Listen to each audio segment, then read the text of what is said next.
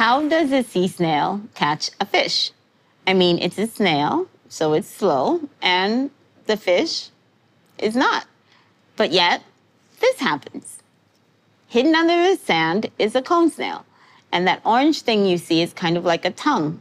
We call it a proboscis. It uses that to track and subdue this unsuspecting fish. In this predator prey interaction, these are clearly not your garden variety escargot.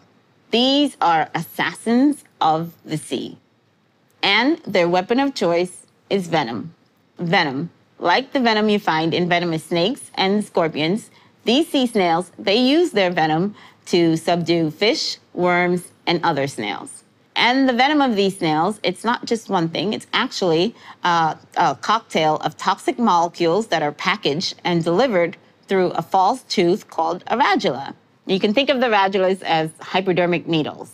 Now, no need to worry, these snails are practicing good needle habits because each radula is only used once. Now, from your own knowledge about venomous organisms and the keep you up at night fish killing video that I just showed you, you might think that venom is dangerous and all bad. Well, yes and no. A more accurate way of thinking of venom is to think of it as both a supervillain and a superhero. In my lab, we study the evolution of venom in these sea snails as a force for good. Sounds like a stretch, or maybe even snake oil. But actually, while there's snakes involved, the product is legit. One reason the Venom product is so successful is that it transforms a physical warfare into a biochemical one. Where usually the predator prey interaction is one of brute force, Venom takes it to a molecular scale. And it's not size that matters, but the mixture of your Venom arsenal. The chemistry of the toxins in your arsenal is what's going to enable David to conquer Goliath. And in our scenario, David is clearly the snail. Another feature of venom that makes it so successful is that the toxins work with the precision of a Swiss army knife. And so these toxins, they come for strongholds that help an organism to function. So they target blood, brain, and membranes. Whether it's snail venom or snake venom, they each have components that can do things like cause your blood to clot, what we call hemotoxic, or they cause neurons in your brains to not function normally, what we call neurotoxic, or they have toxins that will poke holes into the membranes of your cells, causing them to rupture and basically explode, what we call cytotoxic. Cellular explosion, people. Now, if that is not all powerful and all present, nothing is. Now, a little about me and why I'm so obsessed with venom. I grew up in New York City with forced access to the Natural History Museum. I say forced access because I'm one of five kids and my parents use museums as a form of childcare. There were two rules. Don't lose anybody and meet mom and dad at the African elephants at 5:30 when the museum closes. Those totally unsupervised days running through the halls of the museum were full of adventure and exploration. And that's how I feel when I'm studying venom. It's a scientific adventure. We're boldly exploring this entity that connects nature and humanity. Another reason that I'm obsessed with venom is because of its duality. When you inject the components of a venom arsenal into an organism, it can kill or it can cure. At a molecular level, several things can happen. You saw one thing paralysis in the fish. Now, that was happening because the toxins in the venom were attacking how the fish's cells communicate with each other, preventing it from swimming away. Are there other things that I would like to use venom to attack? For sure. And one of those is cancer. Cancer tumors are cells, and like all cells, they communicate with themselves and their environments around them. So we would like to find venom components that are very good at disrupting how the tumor cells communicate, similar to how the venom disrupted how the fish cells communicated and the fish couldn't swim away. In my lab, we study cancer as a channelopathy. What this means is basically we're looking for venom components that will target channels that are overexpressed in tumor cells versus normal cells. The cancer that we're most focused on right now is liver cancer. And that's because since the 1980s, the death rate of liver cancer has doubled, and it's an emerging threat in the US. In a screen in which we had cervical, neuroblastoma, prostate, and liver cancer cells, we found a compound from a terebrid snail that seems to attack liver cancer cells and only liver cancer cells, and none of the others that were tested. And then when we took this compound and we injected it into mouse models that were expressing liver cancer cells, it significantly inhibited the growth of the tumors. We're not quite sure how this works yet. We're still investigating the mechanism and how we can make this compound more effective. So you can't rush out to the pharmacy and order up a killer snail liver cancer therapy treatment. Not yet.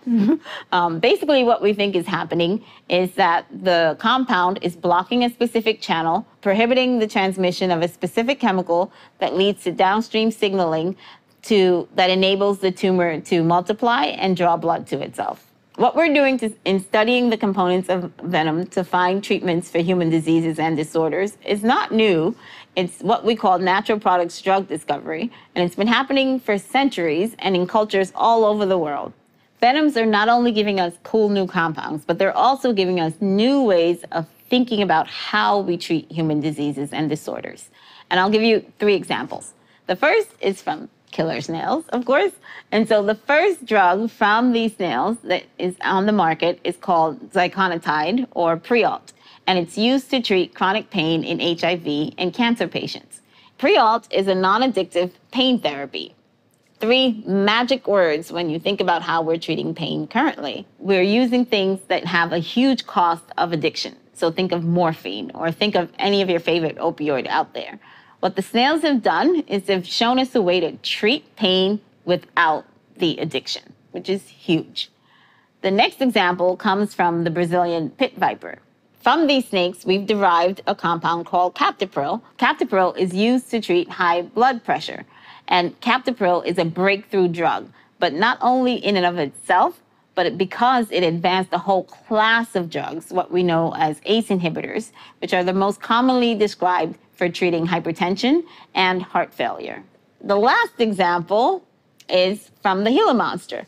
And this is a really exciting example of understanding the ecology of these organisms and pairing it with efficient drug discovery. And Gila monsters are binge eaters. So when they bite into a large meal, they release things in their venom that lowers blood sugar.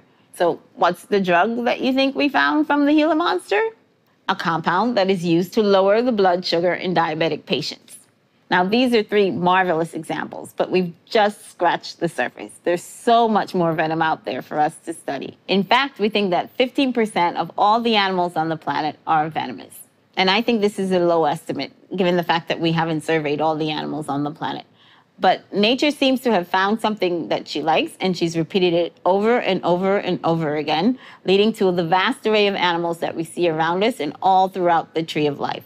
So, whether we're talking about my fave, killer snails, or jellyfish, or the larvae of butterflies and moths, or platypus or slow lorises, whether by sea, land, or air, you're sure to encounter a venomous creature. Remember when I told you that venom can be both a superhero and a supervillain? And you doubted me? Mm-hmm. We're in a race to harness all of this venom goodness before we lose the vast majority of animals on our planet. It's a holistic process.